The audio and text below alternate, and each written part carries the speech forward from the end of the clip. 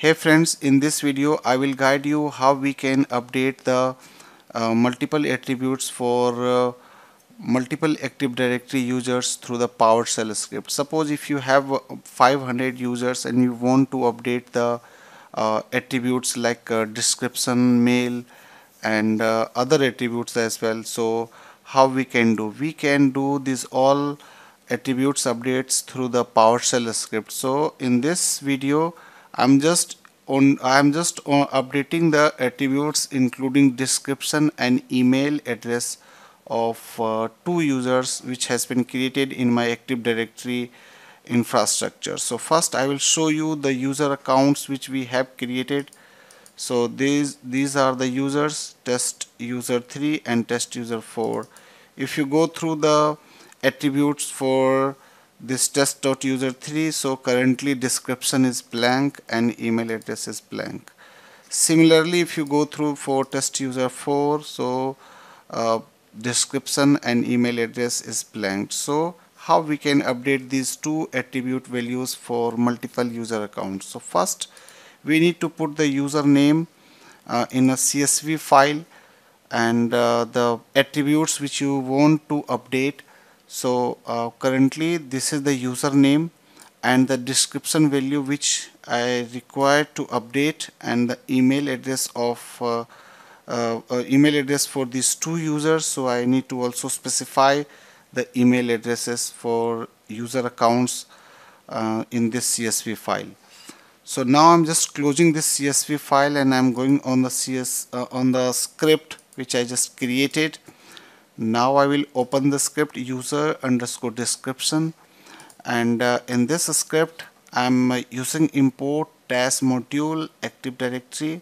So it is just importing the active directory module in this uh, PowerShell script. And uh, then I created a variable that is attrib CSV and in this variable I'm calling the uh, CSV file through the import dash uh, CSV command and now I am executing the for each loop. So this loop will uh, read the values which you have specified in the CSV file. And this CSV file is already stored in this variable. So I'm calling the variable over here. Now I'm using the Active Directory command. This is the Active Directory command that you can use to set the uh, user attributes through the um, through the variable which we have specified. So this will call the variable uh, user and user is just searching inside the attrib csv file attrib csv variable. Now I'm specifying I'm just setting the values uh, attribute values for these two uh, these two attributes. First is the description and second is the mail address.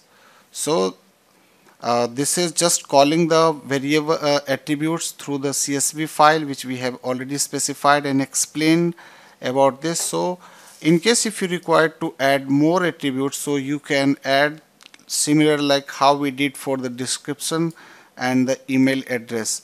So how you will search the attributes so just you can go on the user accounts as I told you you can search the attribute through the attribute editor exactly what is the name of the attribute. So if you will go through the mail so mail is the attribute that I'm calling inside this variable uh, this uh, command. And uh, next one is the description. So I'm just searching the description. This is the description. So these are the attributes. You can search it and you can add. Similarly how we did in this uh, PowerShell script now just execute this PowerShell script and you will see the description as well as also mail addresses will be updated for all users which is specified inside the CSV file.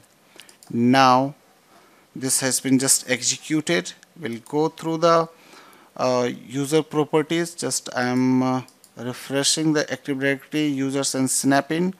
Now we'll check the values we'll go on the test 3 so see the description for this test.user3 has been updated as well as also email address for this account is updated. Similarly if you will go on test user 4 so test user 4 is also updated. You need to just refresh the active directory again. And we'll go on this test user 4 as well. Now see uh, the description value has been updated similarly mail address has been updated for this account so at the same time if you, uh, we have just updated multiple attributes for multiple accounts through the CSV and uh, CSV file and using the PowerShell command. So this is the way which you can follow to update the multiple attributes for Active Directory users. Thank you for watching this video.